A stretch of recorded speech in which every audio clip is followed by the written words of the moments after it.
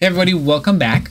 So in this video, I want to show you how to use the new Dash Pannellum uh, community component that allows you to take pictures, panoramic pictures or sphere pictures, and connect them together to create a kind of a tour, right? Similar to what you see with um, Google Maps, where you can create tours of streets, of uh, factories, of uh, houses, apartments, really anything you want.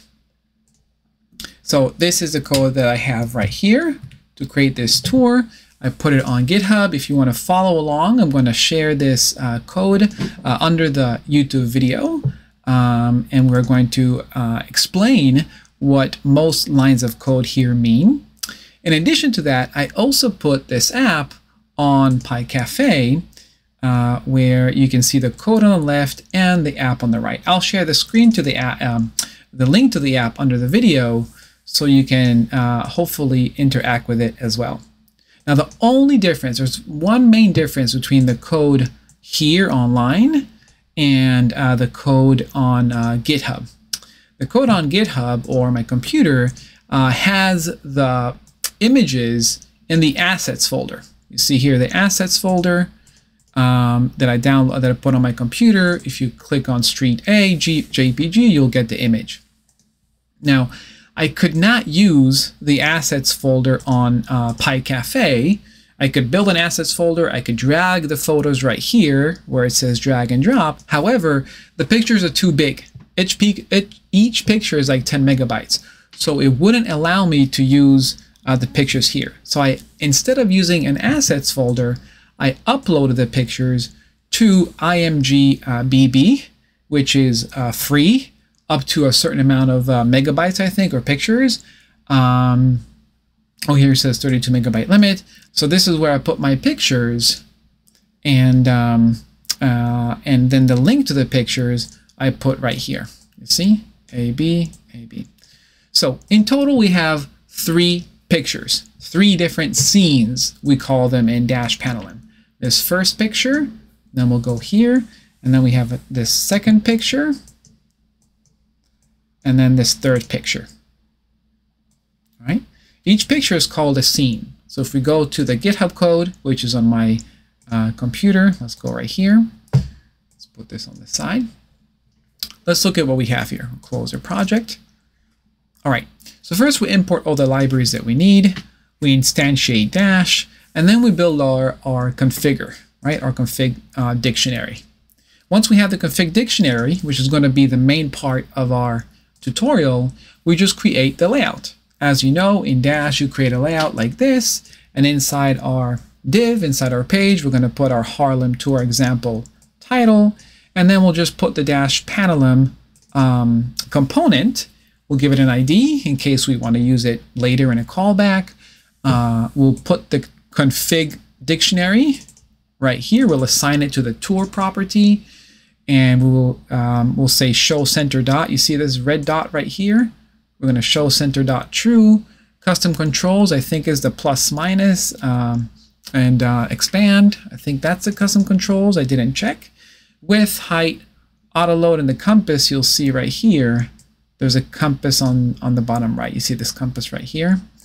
Um, that is something that's um, you put true or false if you want to see it, uh, and that's it, right? So really what we need to focus on is the config file. Now, the config file is built from the default scene. So we're going to say, we're going to build the scenes here. Going to have three different scenes, but the default scene is going to be street A, right? If I fresh refresh my app, this is a default scene. The scene from scene A from street A.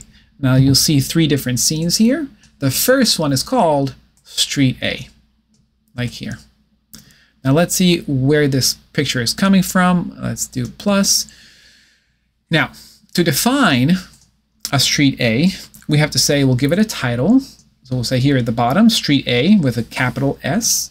The HFOV is uh, really how zoom in or zoom out it is by default. So if I put uh, um, um, 50, or let's do 30, we'll see that it's more zoomed in once the app reloads. See, it's a lot more zoomed in.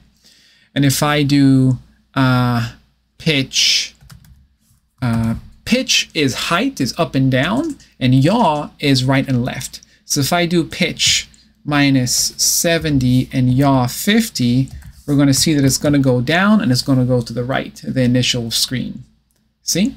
We just went down. You can see my beautiful shoes, and it went to the right, right? It's not in the center anymore. The yaw is 50 and the pitch is minus 70, like this.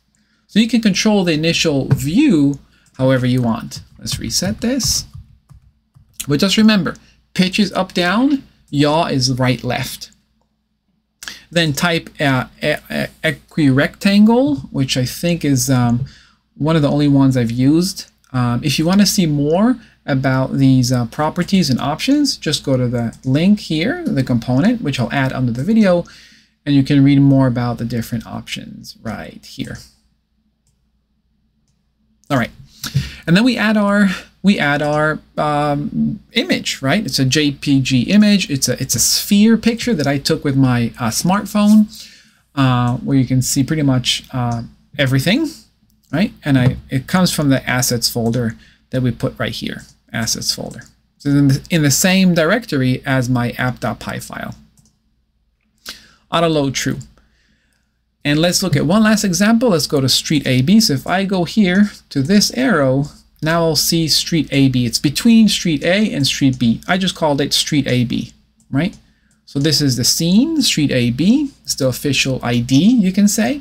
Title is between street A and B, as you can see here, the title in the bottom left. HFOV 100, so it's zoomed out.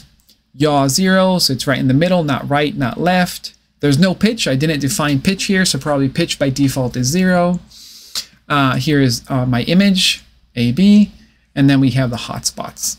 Now the hotspot, I'm going to go back to scene A. Let's refresh, and here we're in scene A, in street A, scene A. The last thing you need to know, and probably one of the most important things, is a hotspot. Hotspot is where you can add your arrow, right? Right here. So the arrow is where it's going to um, take you, like the next scene. So in the arrow, if you hover over it, we'll see the, the text is between street A and B. So here you see the text. This is in street A. We'll have the, the one arrow, and it's going to say between street A and B. The scene ID is not a text, it's not a style, it's the next scene, right? This is going to define what is going to be the next scene, the next image, right? So it has to be spelled correctly and it has to be exactly, it can only be one of these two scenes because we only have two more scenes. So this is going to be the next scene. Type is a scene. Uh, so far I've only used uh, scene types. Yaw is 2 and pitch is 2.1. That's why if this is the center, remember the red dot is the center, you'll see on line 23 that the, the yaw is 2, so it's a little bit to the right of the dot, and the pitch is minus 2, so it's a little bit below the dot. 0, 0 would be exactly here, like that. All right? So let's look at one more example. If we go straight, now it will take us to scene uh, street AB, which is this next scene right here. And this next scene right here, we already went over this, so we'll just go over the hotspot. In this hotspot section, we have two hotspots, two dictionaries, meaning two arrows. One here that will go to street B, the last scene, and one here that will go to back to street A. So what's cool about this, this is very similar to the first hotspot above here. The pitch is going to be zero here, the next arrow right here, the pitch is zero, the yaw is minus one, so it's probably a little bit to the left originally. If we refresh and go back to scene B, see it's a little bit to the left of the of the center dot, one minus one. The, the text is going to be street B, see the text, and the scene ID is going to be street B, right? The next, the, the final image is going to be street B from here. Now the cool thing is um, if you want to put the arrow in a different place, we'll go here. The next arrow, the pitch is 180. So it's it's almost like it's exactly the, uh, if you go all the way around 180 degrees, all the way up and then all the way down. here's our next arrow, 180. With the text street A, the scene will be uh, street A right here from above, this scene, street A. And if we go back here, we'll see that the um, last thing you need to know is the target yaw. The target yaw means that as soon as I go back here, the initial viewpoint is going to be 180 degrees to the right. So if I go right here, the next scene, street A, now it's 180 degrees to the right. You see, this is exactly behind us, right? Remember this, remember this, this is 180 degrees from the, from where the image, the center point starts, right? So if we refresh, we'll see that this is the initial viewpoint. Zero, yaw, initial viewpoint. But here we're saying when we go back to street A from the middle of the street, from street AB, when we go back, we want the target yaw not to be at zero, we want it to be at 180, and like that. All right? So um, I know I went over a lot of information. Uh, if it was a bit confusing, uh, I would watch the recording again. It's a relatively short recording. Uh, if you have uh, other questions after watching, definitely join the Charming Data platform.